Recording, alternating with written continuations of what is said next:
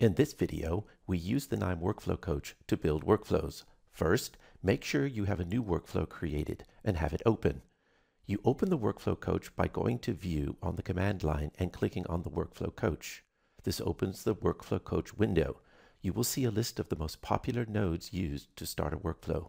This is based on the collected wisdom of the KNIME community.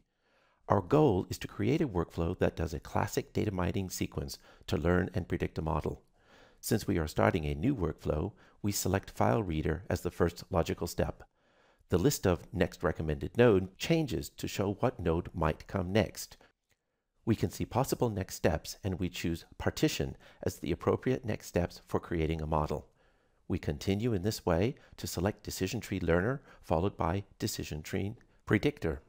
We then score and finally review the results in an ROC chart.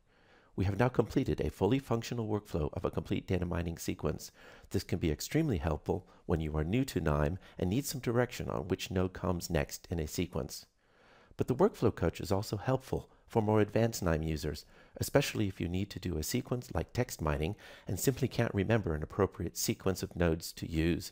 We know that we need to start by reading the documents, and then the Workflow Coach guides us through the typical sequence of nodes needed to process a document for text mining and to create a tag cloud. And there we have it, a complete, simple text mining workflow. So whether you are new to KNIME or are an experienced KNIMEr, try the KNIME Workflow Coach the next time you use KNIME. You too can take advantage of the wisdom of the KNIME community.